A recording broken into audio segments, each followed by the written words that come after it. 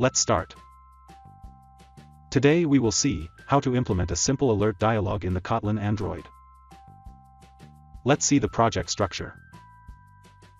In the app-level build.gradle file, write this plugin. Here we have the main activity and a simple alert dialog class. And in the UI, we have the activity underscore main.xml file, which is the layout of the main activity. Let's see the UI. Here we have a button. Show dialog. Let's see the Kotlin code now. These are the imports. This is the simple alert dialog class that extends the dialog fragment. In the onCreateDialog function, we create and show a dialog. Here we set the message of the dialog and the positive and negative buttons of the dialog.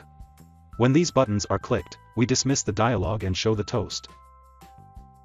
These are the imports. This is the main activity. In the onCreate function, we set the onClick listener of the button. When the button is clicked, we show the dialog like this.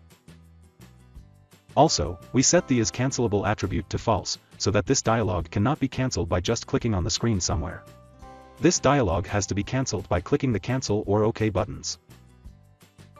Let's run the app.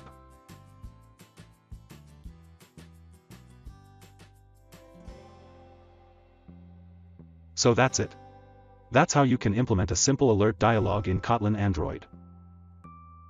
Thank you.